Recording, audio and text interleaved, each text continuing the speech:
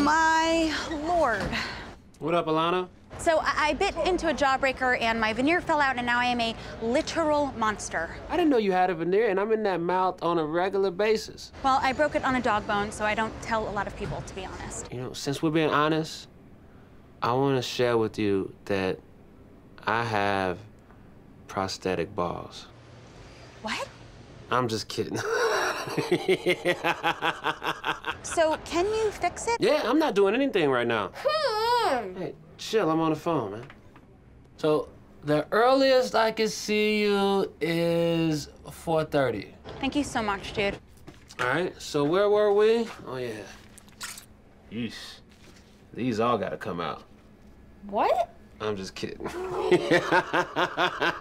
I'm a real jokester today. I had that one and the one earlier about prosthetic balls. I'm crushing it. Two for two all day.